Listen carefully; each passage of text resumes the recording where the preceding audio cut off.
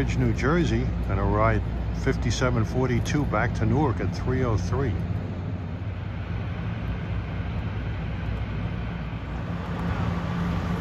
the fire department here, High Bridge. I don't know what they're doing down there, but there's all kinds of equipment.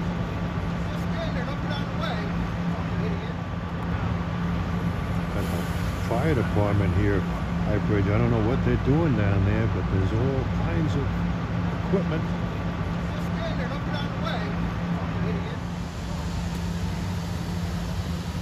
I don't know. I can't quite make out what's going on, but I see a mangled automobile there on the right. I can see the license plate. See the gray top?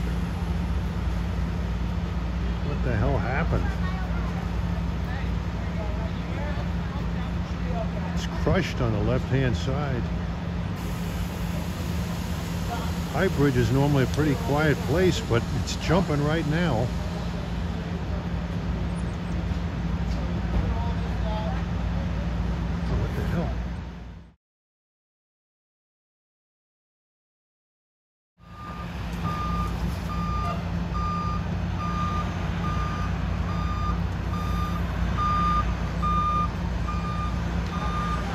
Oh, it looks like something on top of a of a flatbed trailer might have toppled over and fell down on top of a car. My God, I can see them taking the door of the car off. Man, oh man.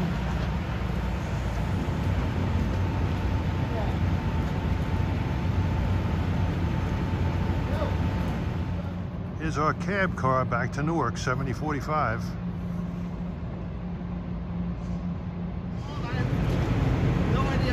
On closer scrutiny, that white truck had a flatbed trailer on the back with a bulldozer. And it looks like that bulldozer fell down on top of that car. I hope somebody, I hope they weren't hurt, killed for that matter.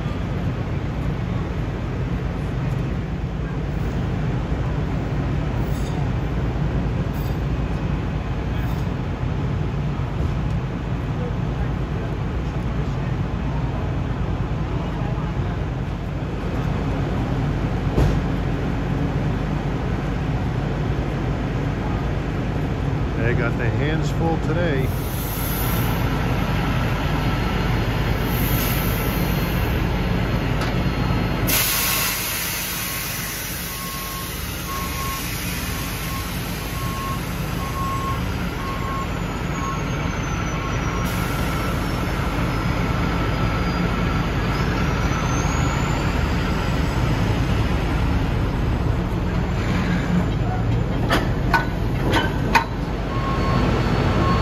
Immediately behind that truck, white truck, you can see the treads of some something that looks like a bulldozer or some heavy equipment. Now Superior Towing has got one hell of a towing job ahead of them.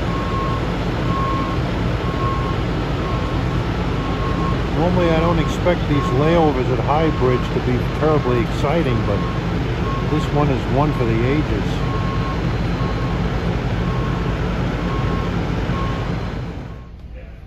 Okay, 3.04 p.m. departing High Bridge, heading back to Newark. This is the cleanest window I could find.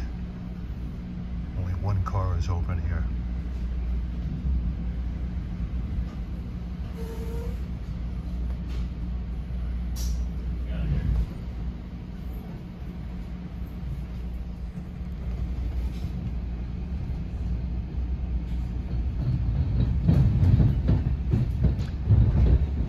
And this track is a long way up.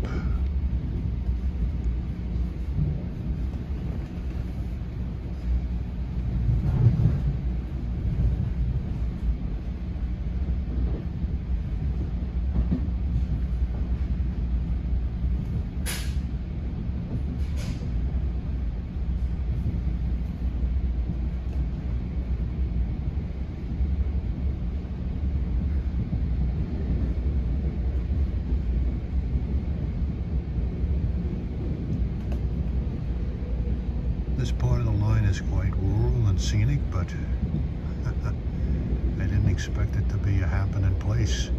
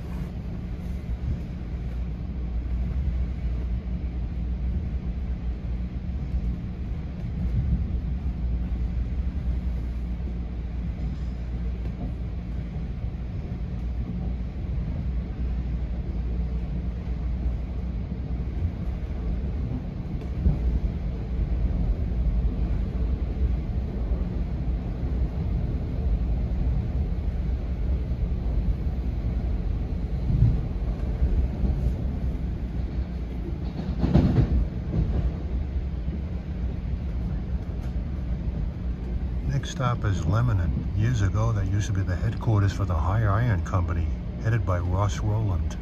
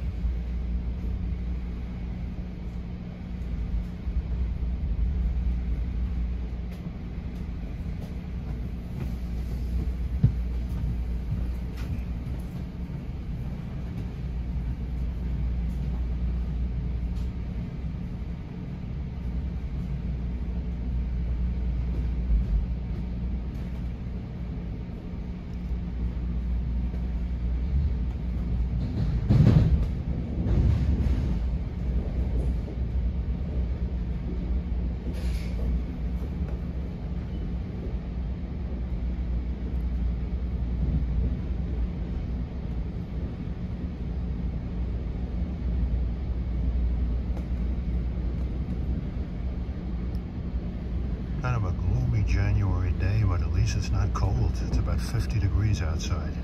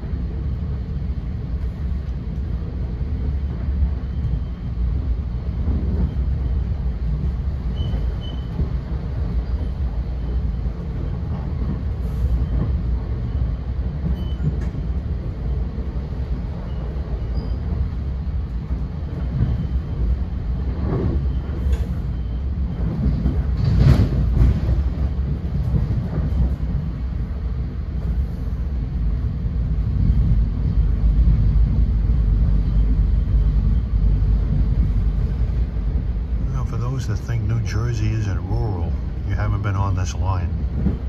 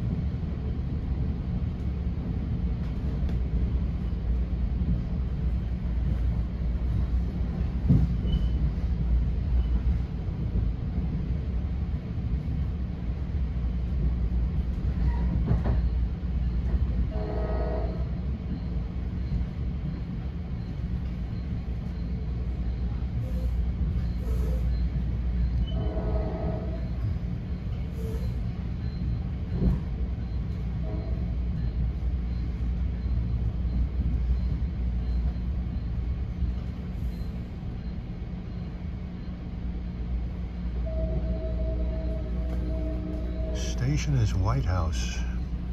Not the White House, but White House. Some trackside dining for the few trains that pass by here in the warmer weather.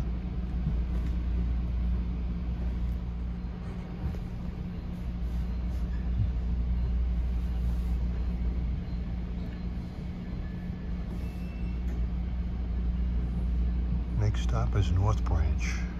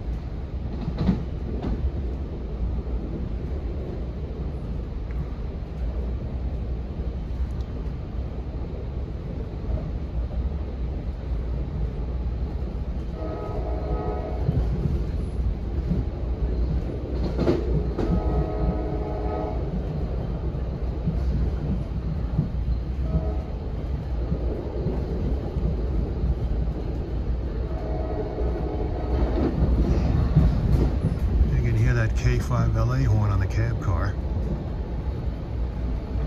I hope the engineer's windows aren't dirty.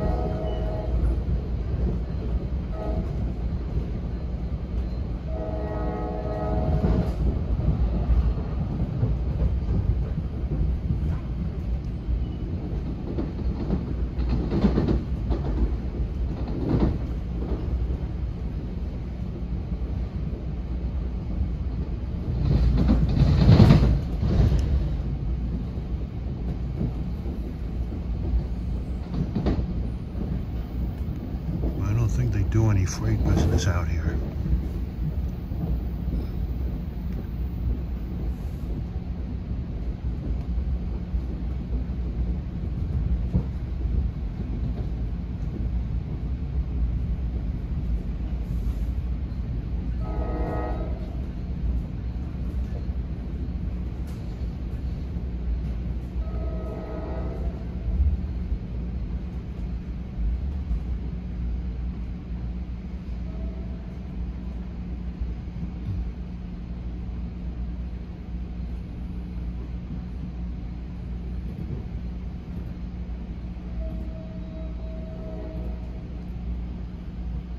Station is North Branch.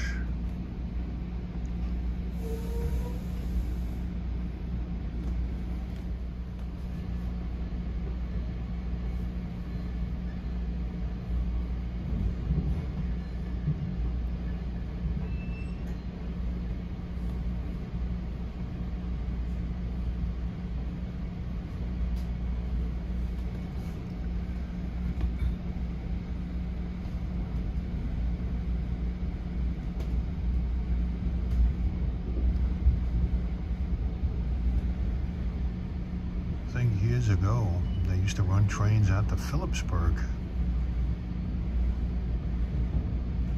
There's talk of them reinstating service out there again, as well as West Trenton.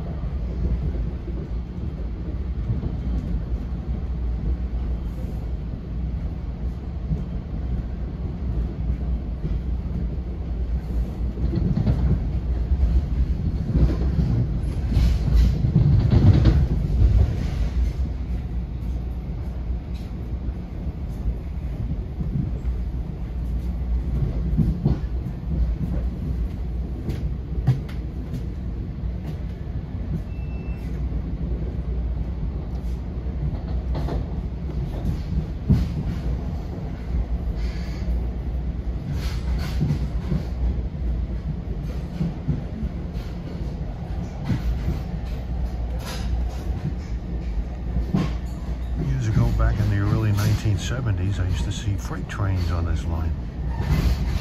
Powered by everything from SD40s to F7s and N&W paint. And in the early 1970s, soon after that, there was flooding in Pennsylvania from Tropical Storm Agnes. And the CNJ shut down over there.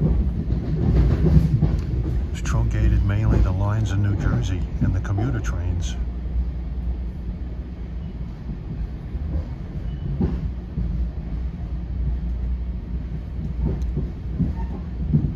If you want to get a good um, study of the history of the Jersey Central, I recommend getting uh, John Pachulis Media videos on the Central Railroad of New Jersey.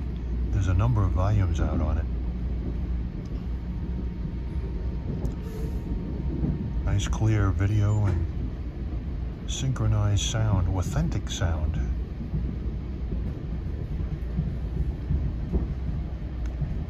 It's not live sound, but it's sound from his recording inventory that are very carefully placed, juxtaposed against the movie images that you're seeing.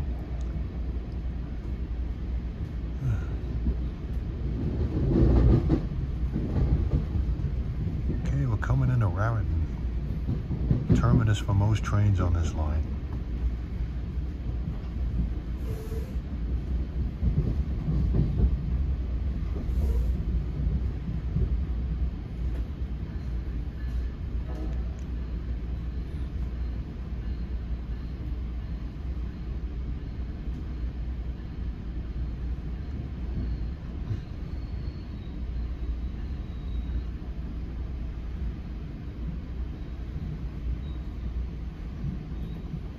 Looks like we're making stop here in the yard.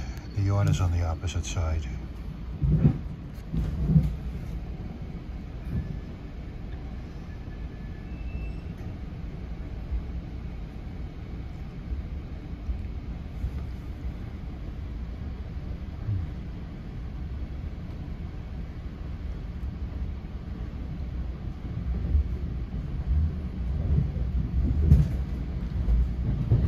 Okay, here's where we enter double track. Which will have the rest of the way into Newark. At least two tracks.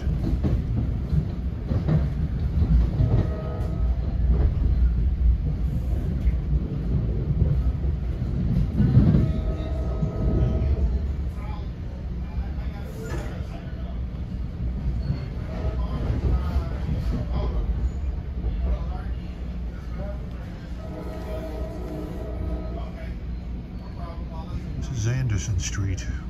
Yeah, no problem. Third car. All right, I'll be back. Raritan Station.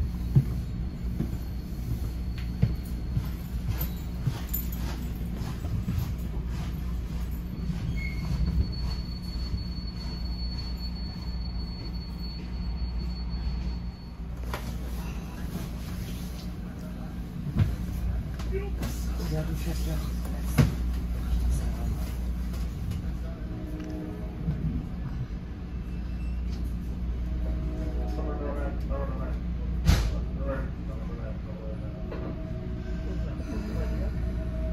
Fünf Euro, das geht auch.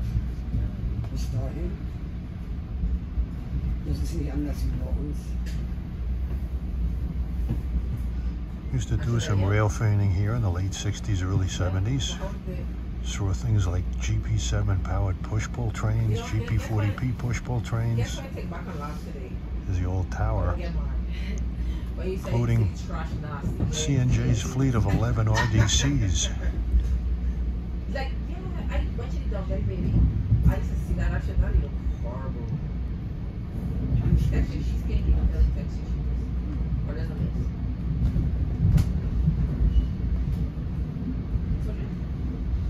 CNJ had all kinds of weird engines. They had Fairbanks Morse Train Masters. Like I said, they had Baldwins, RSD5s from Alco.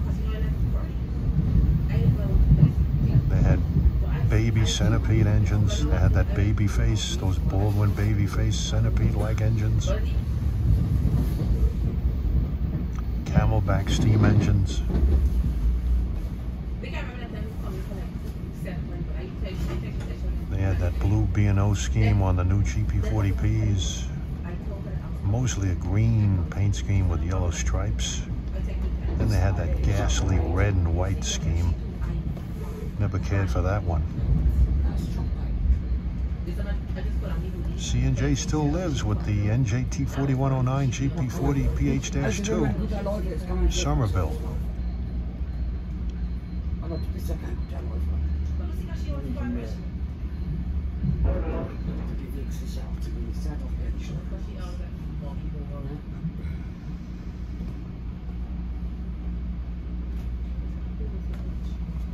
Nothing here, I only get one day. I was waiting, she said, they said, oh no, I, I can't make something this schedule, but Jackie's caution, there's no days on. Next stop is Bridgewater.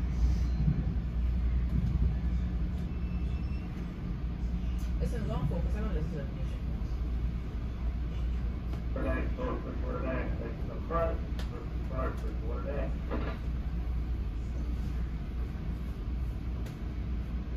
Hear me?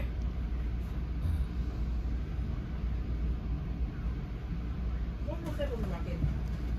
Um, my kids. Kids stuff. Yeah, yeah, yeah. What time is it? Something like that.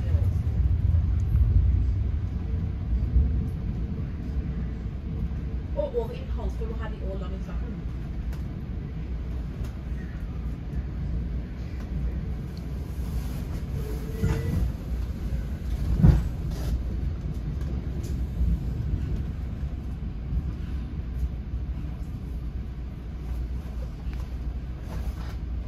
What's going on?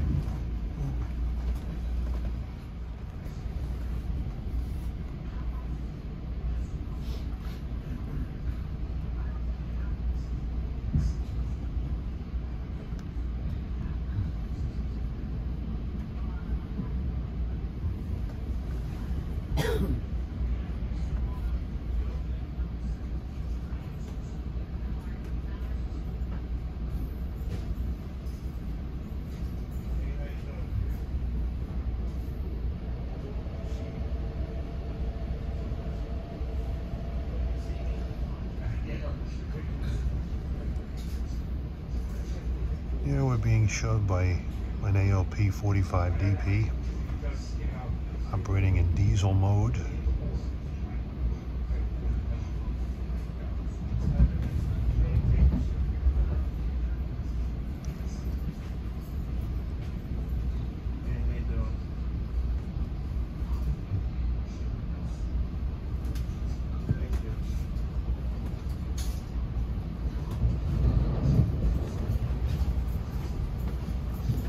Hi, this is you, right? Yes. There you go. It's gonna be track one. Track one? Yeah. Hello, sir. How you doing? Thank you.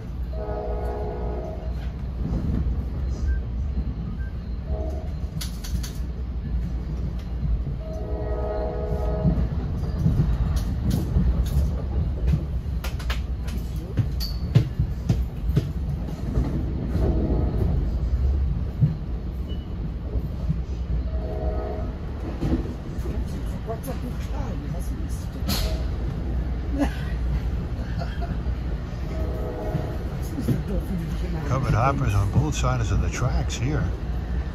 Robust business.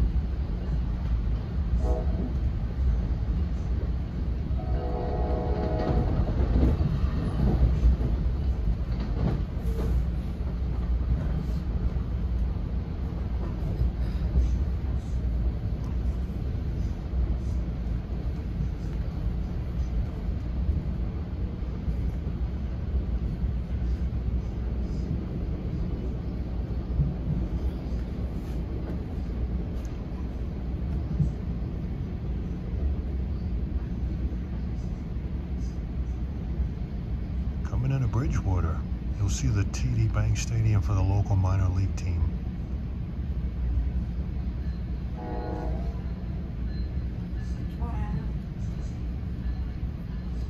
Aber du hast ja nicht geschaltet. Ihr bei Starbucks Kaffee trinken. Bridgewater was the site of the famous beer case march. My two family members were carrying cases of beer on their head from the local Pep Boys to this train station because they didn't want to lose the beer that they got at the Yuengling Brewery in Pottsville, Pennsylvania. I bought a case myself, but I was willing to sacrifice it.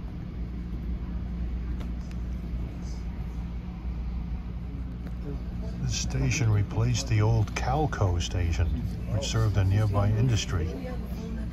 The station was built in 1985. Serves a ballpark and a shopping district. There's quite a bit of business compared to the rush hour only business that the Calco stop did. It just served plant workers.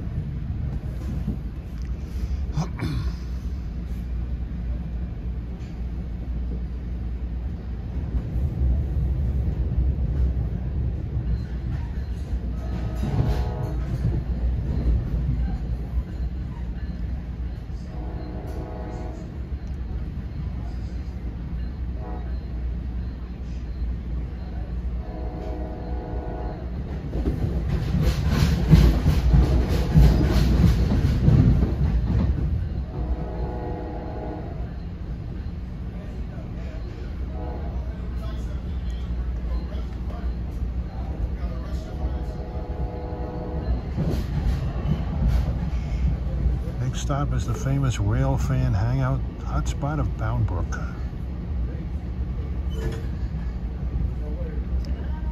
In addition to this line, you have Conrail Shared Assets main line and the Port Reading secondary.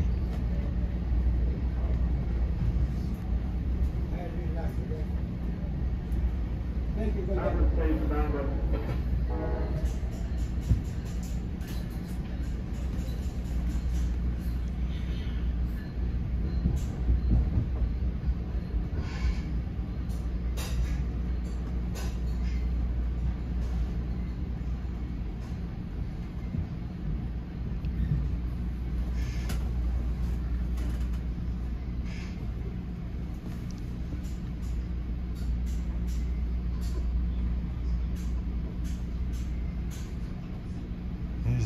station. And I believe is a restaurant.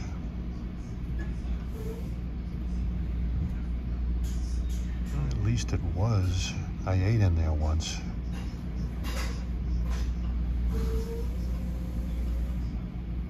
Doesn't look like it is anymore.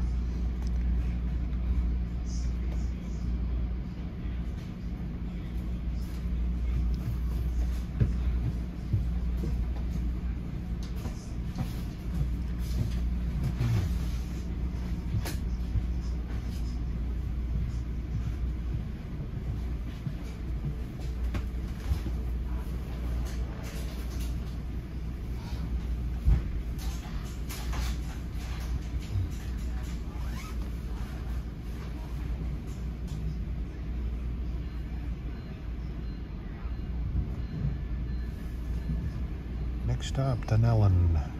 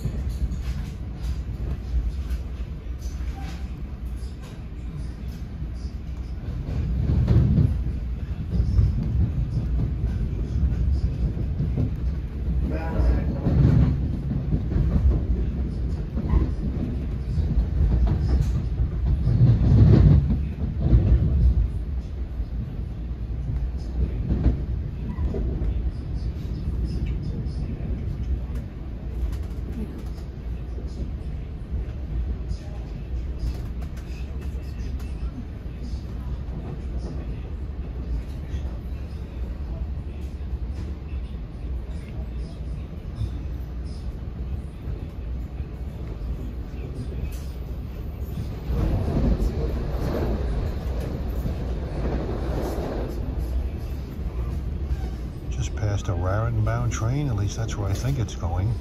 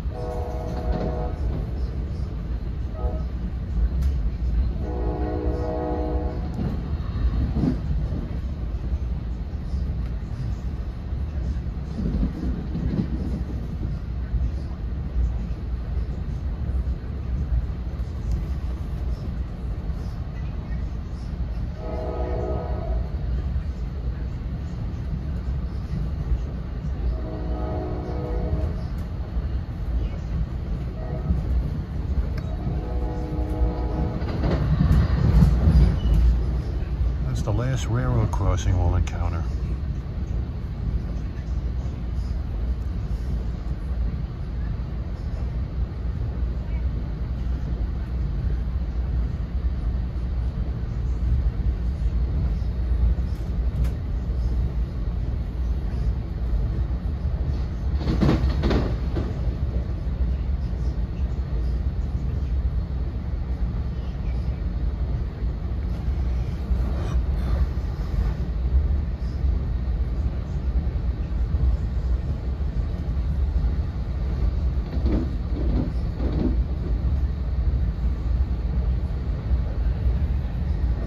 Pretty good track out here. Wasn't always like that in CNJ days. They were a basket case.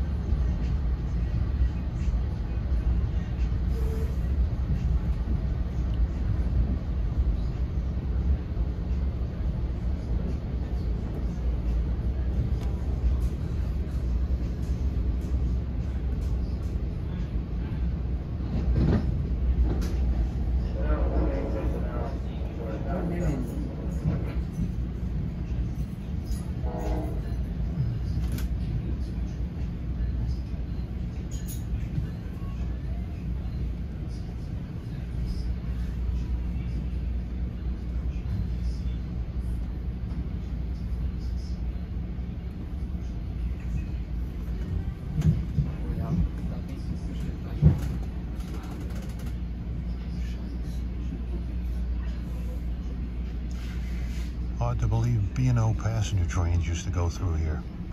The last B&O passenger train to go through here was back in 1958. The Royal Blue. Ran between Jersey City and Washington. Three hours and 55 minutes. But that was from Jersey City, not from Manhattan. Still had to take a ferry from Manhattan to the Jersey City terminal. Couldn't quite compete with the Pennsy.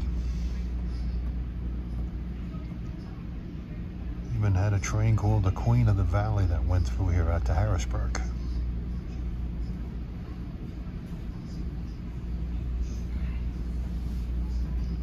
And of course, you had the old Reading's, Wall Street, and Crusader trains from Newark to Philadelphia. Well, after the Aldene plant, it was from Newark, Penn Station. Prior to that, it was from Jersey City down to Philadelphia.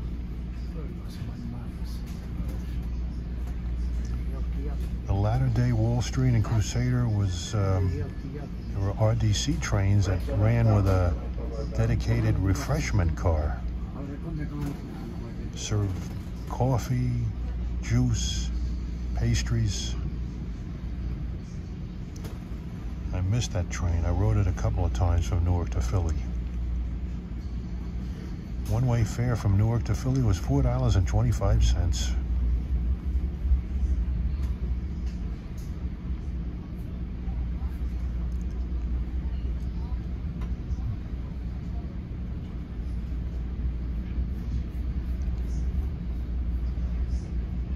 hopefully they'll reinstate the route of the Crusader because they're talking about reinstating service to West Trenton, New Jersey from Newark.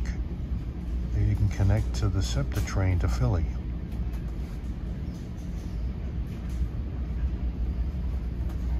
So far, it's just talk. Somit hast du die. Die wollen wir davor. Nee.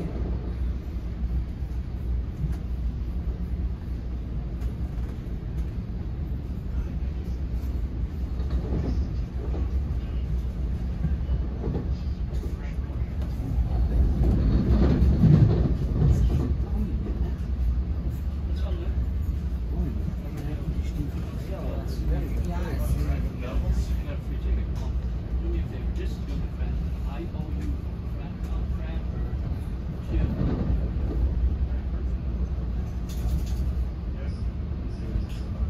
The Devils are playing today, aren't they? Like,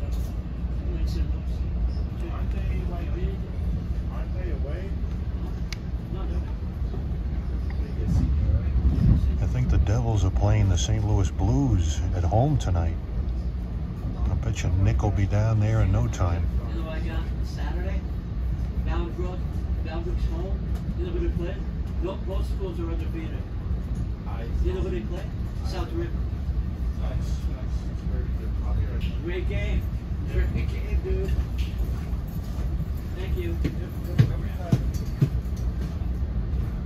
Well, next stop is Plainfield, but somewhere along the way, there used to be stations at Clinton Avenue and Grant Avenue in Plainfield. Don't see any trace of those.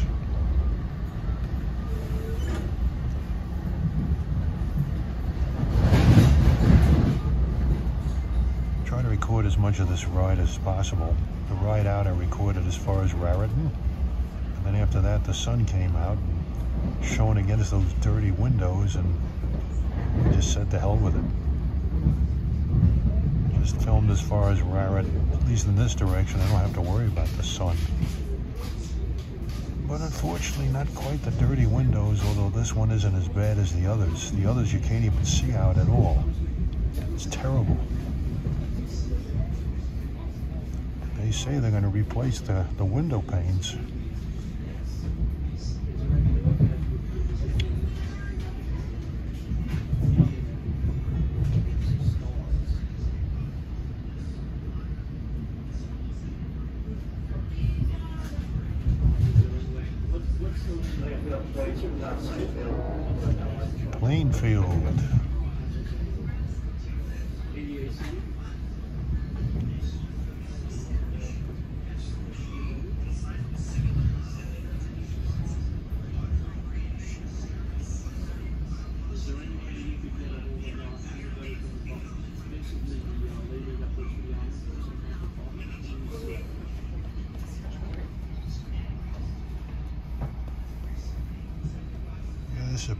size town.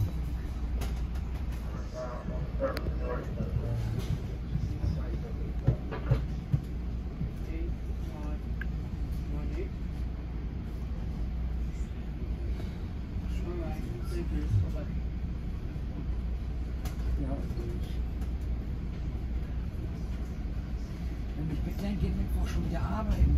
Oi, oi, oi.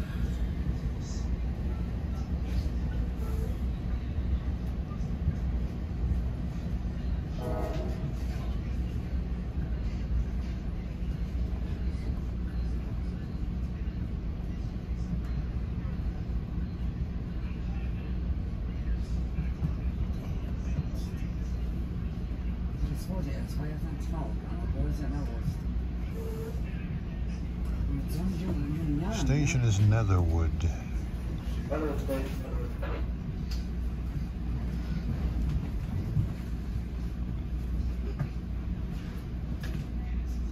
Nether the weather today. Very gloomy.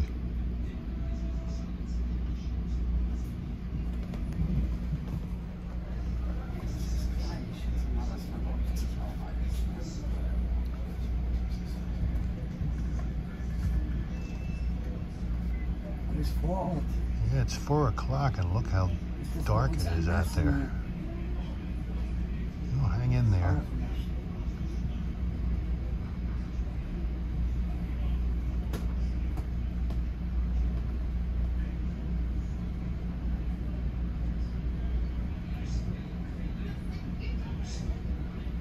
Boy, that was some sight in uh, High Bridge. Man, Fanwood Station will be next, Fanwood next. like some heavy equipment fell on top of a vehicle. An automobile? Oh boy. It was going away, so it looked like it hit the driver's side. Uh, I don't know. I saw them shear off the top of the car. Looked like stuff out of Chicago FD, Chicago Fire.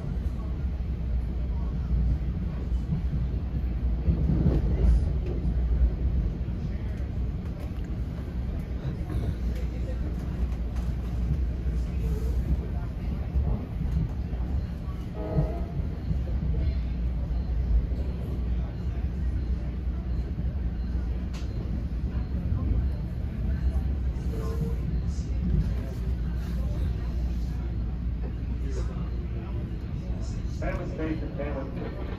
Fanwood. This station has a nice depot building.